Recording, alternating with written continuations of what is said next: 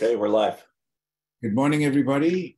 It is the 24th of March, Friday. So we have an interesting chat today, I think. We're going to discuss a little bit um, of a subject which we should all consider. This, meanwhile, the slaughterhouse of failure is not in our destiny. We shall persevere until we succeed Mandino modified. Today we're going to be defining courage, discuss a little bit on risk and courage, the motivation of our decisions of risk taking or not. Why do some people take risks and others don't? Why are some people really cautious and others are not? Are we? Where are we? Um, Dan fished out a, a study which is about this subject using different uh, different objectives, but we've adapted it or we're adapting it to our business. Daniel Kahneman, um, economist, talked about loss aversion. Loss aversion can be a cause of mediocre thinking and dwelling on the comfort zone of known factors. That's what we're, we're saying that right now. That's what I'm writing. I'm saying myself that. What is loss aversion? Loss aversion is remaining in the comfort zone of wherever we are, of known situations, known factors. Our situations right now are really volatile job, political, societal, security. All of these things are unstable. So, forced courage is necessary to make some dramatic changes. Prior to COVID, it took courage for someone to say, I'm going to be an entrepreneur. I'm going to do this. This is what I'm going to do, and go off and go and do it in the blue yonder. Well, post courage, post COVID, the whole situation has changed. Our job stability, our social stability, our political stability, everything has become unstable. So now we've got to find the courage to make certain dramatic decisions. So, is it courage? What is courage? What prompts it? These are things we're going to chat a little bit about. Yeah, and so they they um, Daniel Kahneman uh, and his group they define loss aversion as the idea that losses loom larger than gains, and they documented this in years of psychological and economic research. Um, that courage, or, or more importantly, loss aversion, is thought to be an important component in human decision making you know, if we're so loss averse, why do we take such big swings in our lives? Or, or why do certain people take more risk? And that's kind of what they set out to, to look at. And, and is courage really the reason that people take more, some people take more risks than others, or is it something else?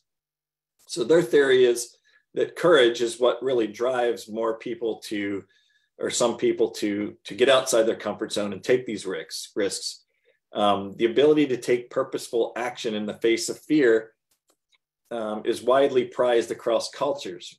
Um, one study found that courage was among just six values shared by nearly every philosophical and religious tradition. So when people see an opportunity to be courageous and want to see themselves as courageous, that may actually lead to a preference for the riskier option.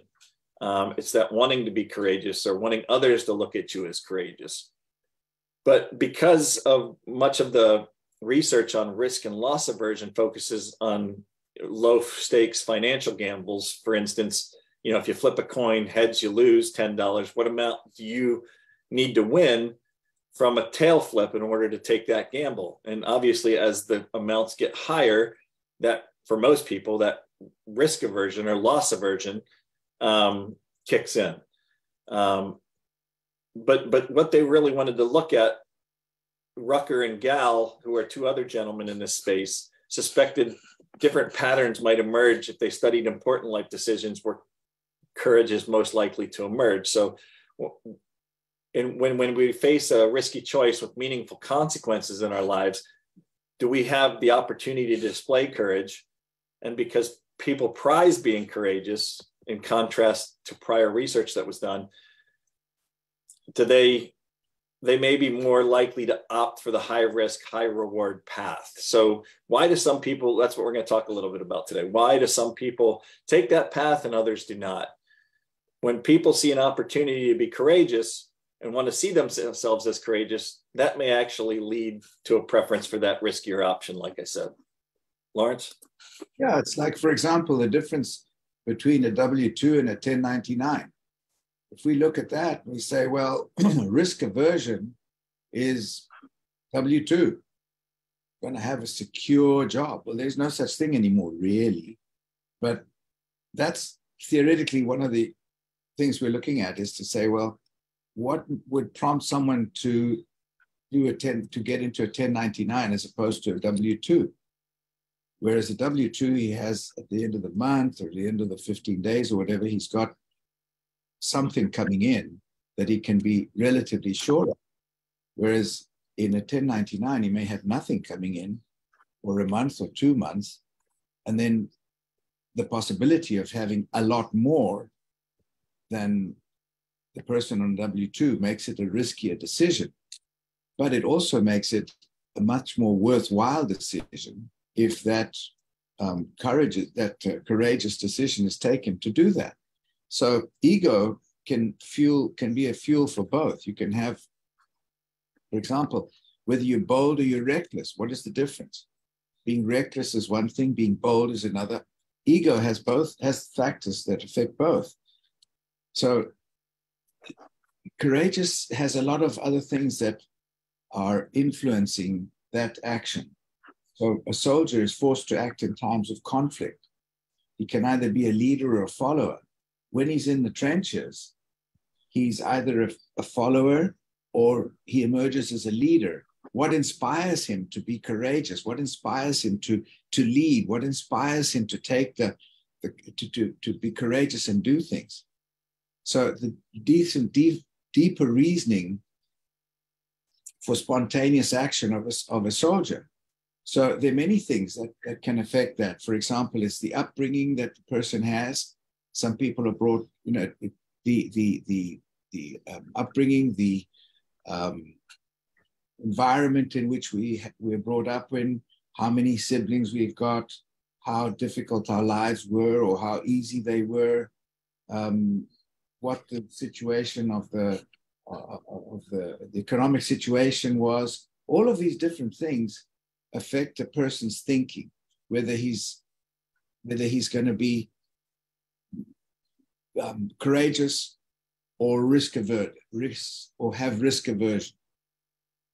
So um, these are these are things we've got to think about when we're considering the people that we work with. Now, working from home as an entrepreneur prior to COVID was something that was needed to be courageous to say, I'm I'm I'm not prior to COVID.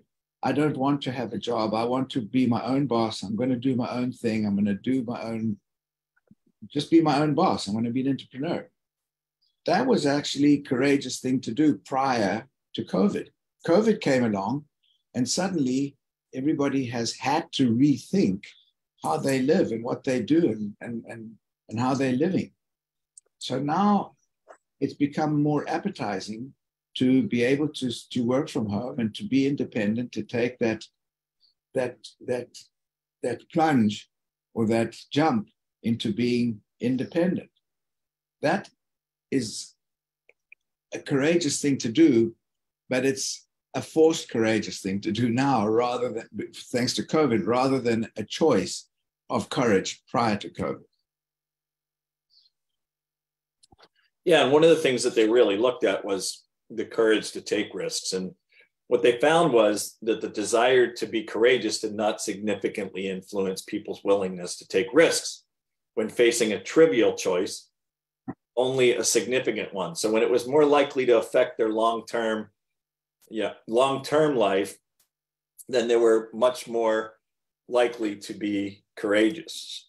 Um, but then they looked at is courage is courage just an appetite for risk, or the opposite risk uh, loss aversion what they found was that not ex- not exactly so the results showed of, of a, an additional study that they did that courageous people, uh, courage increases people's risk appetite more strongly when the decision has long-term significance for their lives.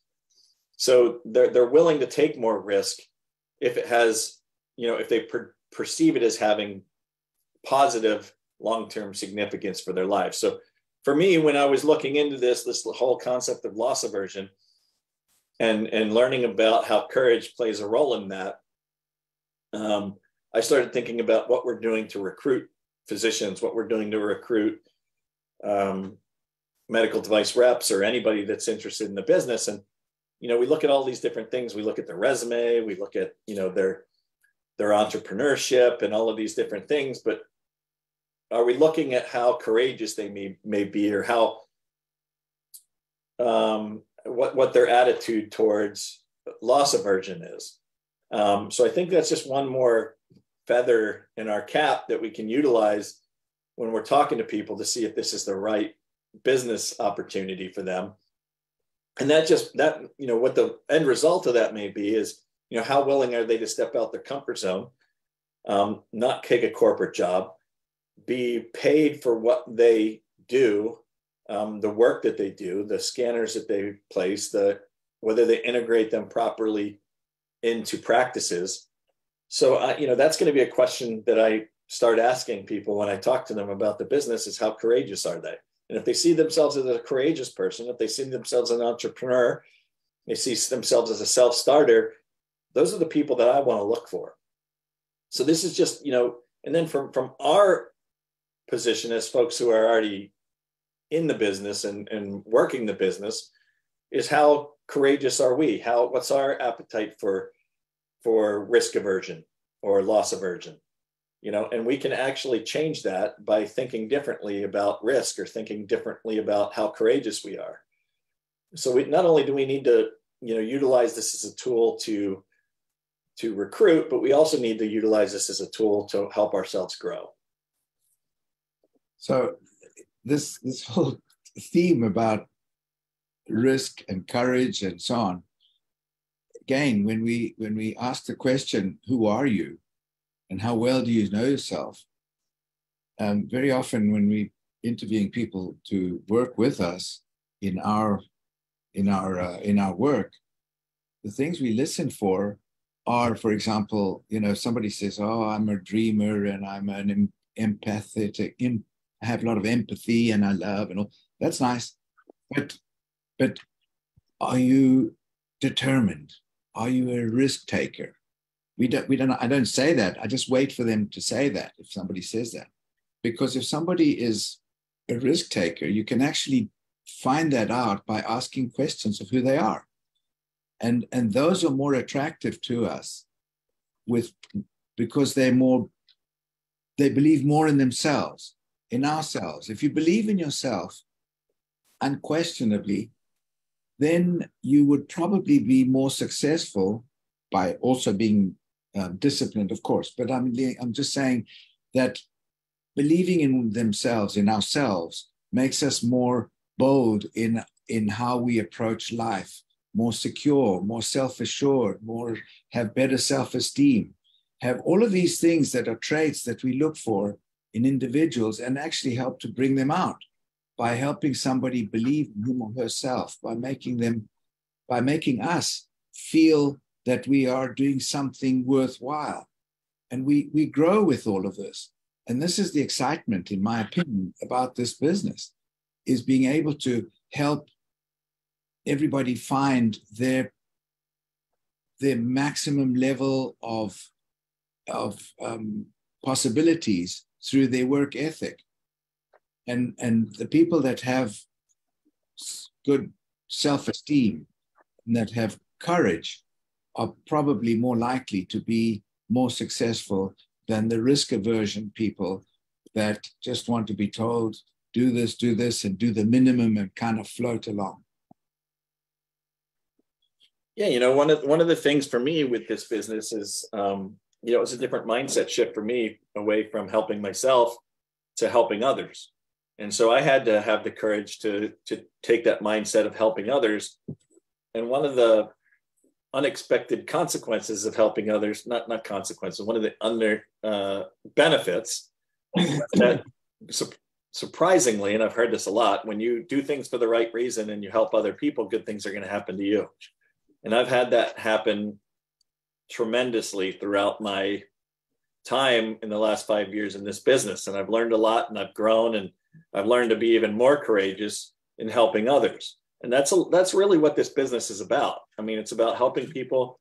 It's about helping them financially through the business. It's about helping them um, nutritionally through making you know educating them on how they're getting proper nutrition and what the benefits of that are.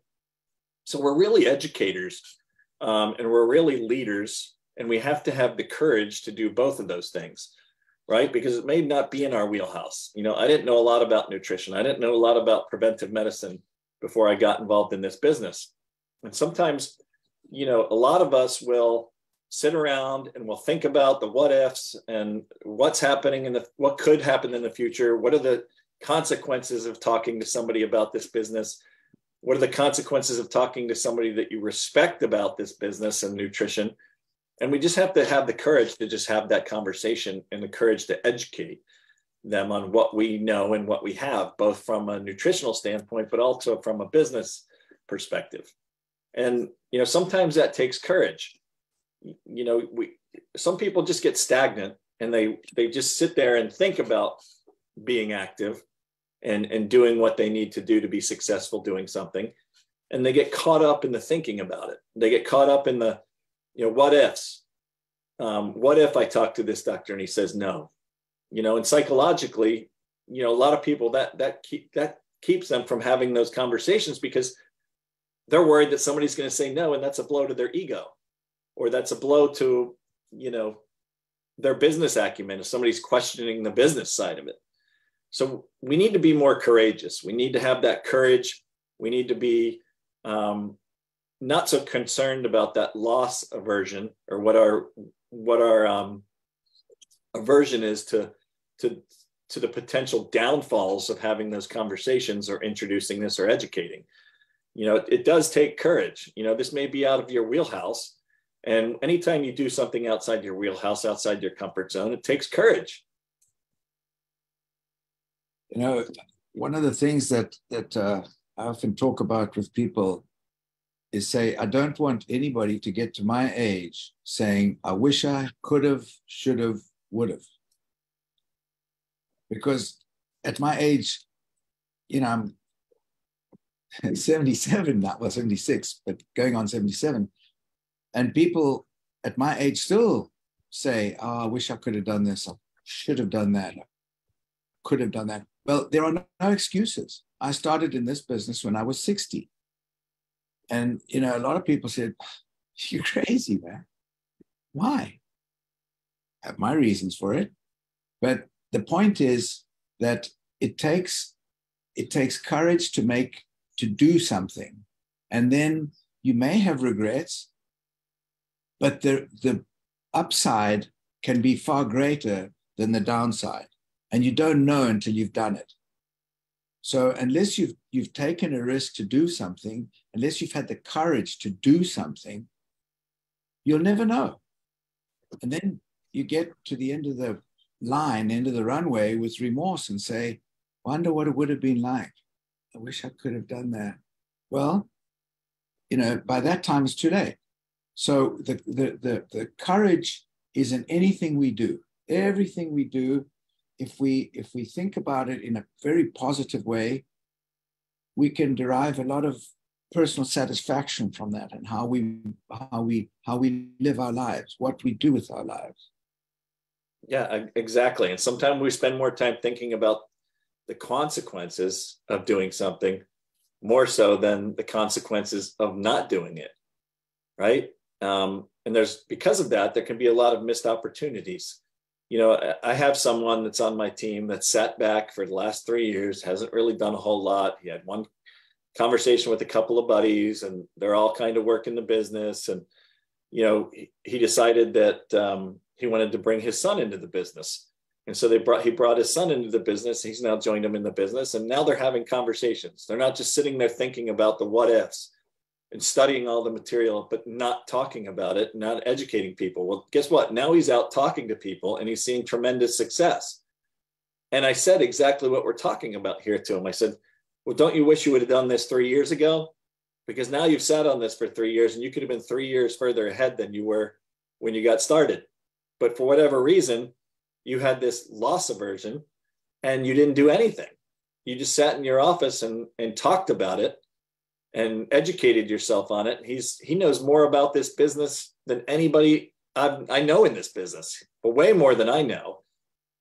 But now he's utilizing that information, and now he's he's having those conversations. He's educating physicians. He's educating other reps who want to get out of medical device sales and how they can do it. And as he continues to do that, sure, he's going to have some failures, if you want to call them that but he's also going to have some wins because he's out there talking about it. If you're not out there working the business, you're not going to get wins or losses. So there's the motivation. See, these are the exogenous things that I'm talking about. So this is a guy who's who knows all the theories, paralysis by analysis. He knows everything, and maybe financially, or maybe maybe financially didn't need to do something, until his son is now in it. Now he's got a motivation to, to do something. He's got something that's going to drive him.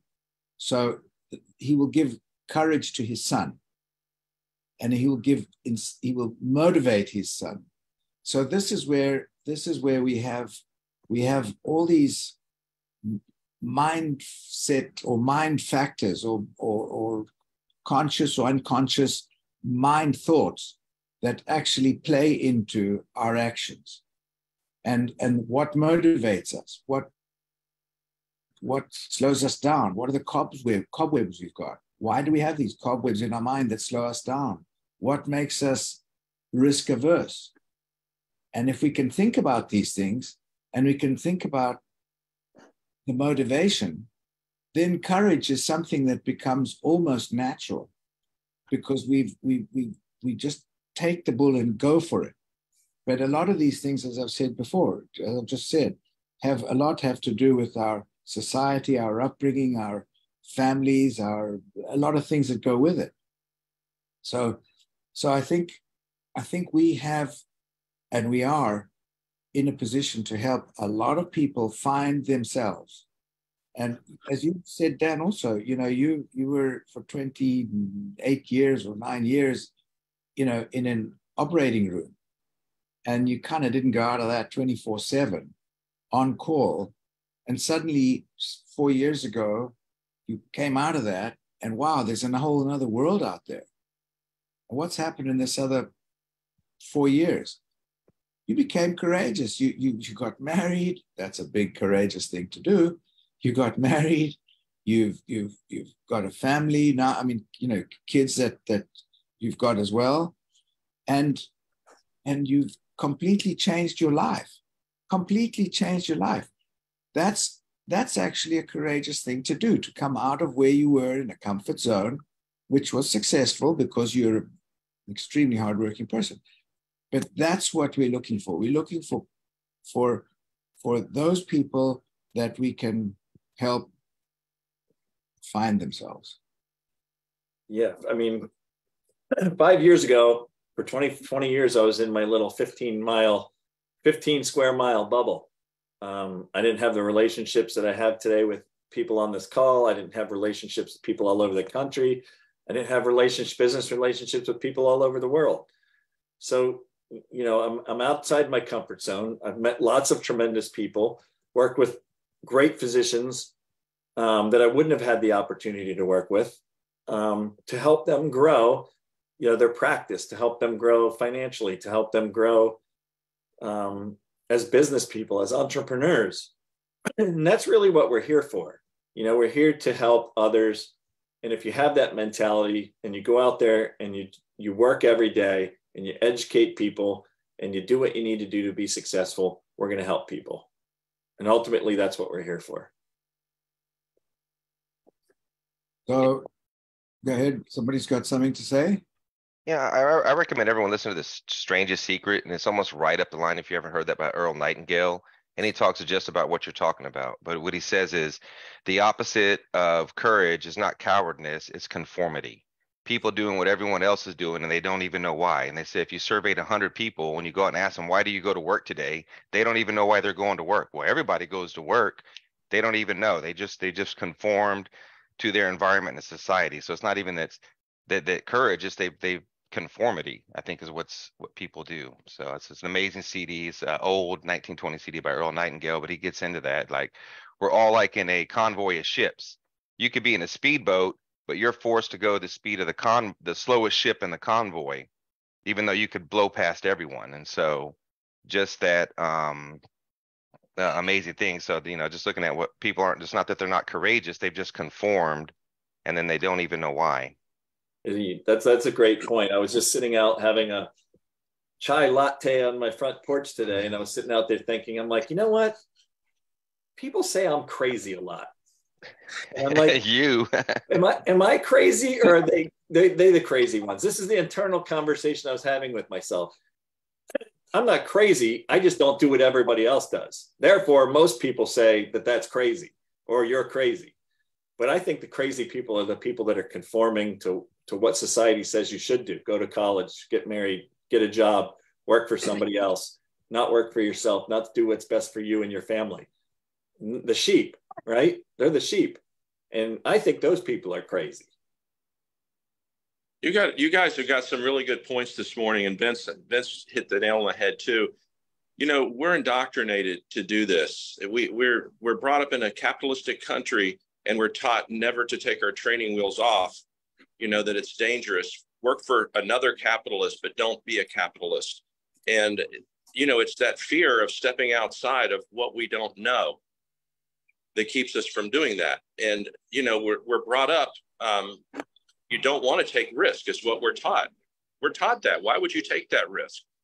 But if you really understand it the risk you know what you're doing now is probably more risky than than it would be if if you did it yourself if you started your own business and pursued your own dreams. And as Vince said if you know if you're in a speedboat but you're in a flotilla you're only going as fast as the slowest ship. So educate yourself we we're brought up and indoctrinated into one method as you said get a job this is not the only method out there check it out educate yourself and then you're going to realize there's not that much of a risk after all it's more risky, perhaps, doing what you're doing, as Dan mentioned, being a sheep. Long term, right? Long term, that's definitely more risky because you're getting paid a salary. You have a cap on how much you're going to make. At some point, you're going to hit that ceiling, and you're not going to make any more money, right? So, what do you know? What do people do when they hit that point? They say, "Oh, I'm going to look for another job where maybe I can make more money or I can move up higher." Or they, they settle they just continually do that. Yeah, or they settle, which is even worse. Don't be crazy.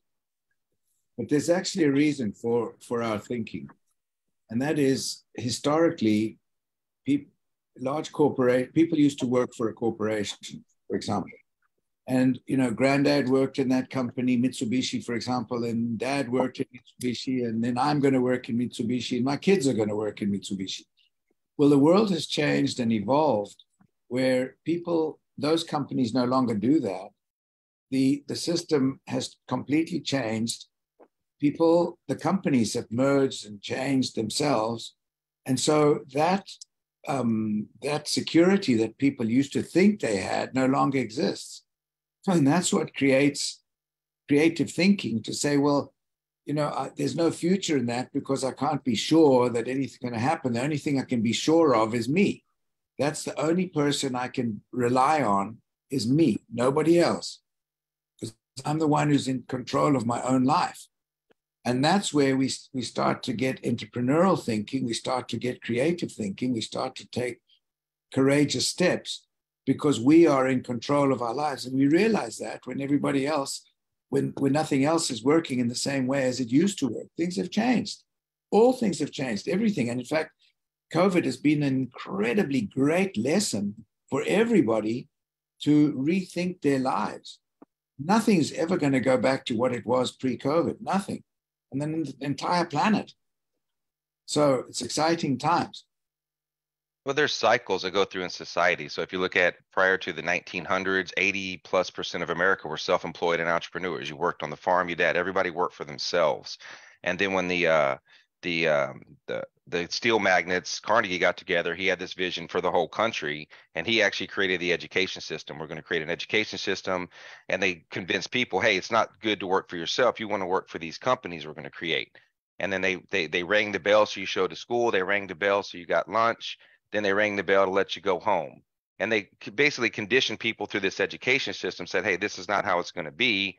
And they conditioned people to this ringing of the bell. Then you left the the ringing of the bell to the blowing of the whistle. Boop, whistle blows, you got to show up to work. Boop, whistle blows, you get to go to lunch. Boop, whistle blows the end of the day. So this was actually, if you look at who set it up, it was Carnegie, uh, Rockefeller, uh, Vanderbilt, J.P. Morgan. When they said, "Hey, we're going to change the system when, when we became industrialized," and that's where they came up with the concept of hey you don't want to work by yourself that's dangerous you want to work you want to be a part of a company. And that was literally a societal change and that's what covid did. We actually have another it's the book who moved my cheese. It's literally happening now. We're seeing it happen. And so and you know so that that whole that whole sequence was changed and that was actually set up by them um, so it's just interesting. So if you actually go back and study where all this stuff, how it actually started, I mean, who actually came up with a salary? If someone says, "Oh, I want a salary," like, well, who do you think invented that? The capitalist or the employee? You think an employee went to his boss, "Hey, I got an idea. Give me one dollar amount, and you can work me to death as many hours as you want. It doesn't matter." And so again, the rationalization of if you look at where this stuff comes from to how it's passed on down, but again, it goes back to that conformity concept. Good. Thank you. I'm someone who didn't go to school. I didn't, you know. My mentor taught me look what everyone else is doing and make sure you're doing the opposite. Good. Well, thank you. Nuggets. Anybody else got anything to add? Anybody else want to say anything? Comment? Anybody? I'll say uh, that that there's a lot of leaders. If you look, if you look at very successful people, they believe that it's a moral obligation be in. You're breaking up, Michael. Lost you, Michael. so, you know, if you have a bill, and you're not maximizing your potential, then then it's um, it's it's morally uh, corrupt. That it's it's a moral obligation to do the best, not just for you, but for everyone involved. And Dan talked about this earlier. Uh, if you're helping other people, it's going to come back to you. And, and ten tenfold. So that think about that. If you're not if you're not being you know doing your very best, it's uh, it's it's morally wrong. Yep. Good. Um, so uh, I thought it was very interesting when you brought up the topic of conformity. And um, I think that when you look at our business, there is such little risk to our business. You know, we're not making a hundred thousand or half million dollar investment. We're not hiring people. We're not signing leases. So the risk, that kind of risk, financial risk, is minimal to nothing. But I think one of the biggest risks, certainly I and others may see, is that this perceived risk of losing face by trying something everyone else is afraid to try because they don't want to be embarrassed by those who all conform. And we need to just make that a non risk. This is not a risk at all. It's a negative perception only. And it can be a very limiting factor. And it's actually driven by our ego that could be limiting us. So we need to drop the ego and get out and go to work and not worry about what everyone else thinks. 100%. That's what we're talking about. That's about, belief in yourself and and and self-esteem and the ego which is, drives us and if we've if we've got sufficient self-belief who cares what other people think they're not putting bread on our table Sorry. Nothing takes more courage than to go against those people in your life that may think that you're doing the wrong, making the wrong decision. There's a story I read and it really set me free. And it was about uh, funerals and it said at the average funeral, five people are going to cry. The average funeral, five people cry. And then it went on to say that on the way from the uh, funeral hall to the burial, if it's raining, half of the people will dip out because of the rain. And that blew my mean. I'm, in my mind, I was like, "You wait, wait a minute. I'm gonna go through my whole life, help everybody, try to be this good person, and only five people are actually gonna be sad that they put me in the ground, and the other half of the people are gonna dip out because of the weather." So I mean, you mean the weather? The weather has more to do with who's gonna show up to my funeral than how I live my life. And we spend our lives worrying about these people. And I'm like, first of all, you ain't gonna cry at my funeral, and you're probably gonna be one of the people that dips out because of the weather. And so why do I care what you think? And it's so weird how we we have this perception that we care what these people think. Then you know, once you realize, like, well, wait, and they're not going to probably cry at my funeral, and they're probably going to dip out uh, because of the weather. And so, and it just amazes me how we worry about this. And I don't know, that just really kind of messed me up. I mean, man, no one's even going to care that I'm gone, and the other half ain't even going to show up. Well, so Vince, the, the moral of this is have the funeral on a sunny day.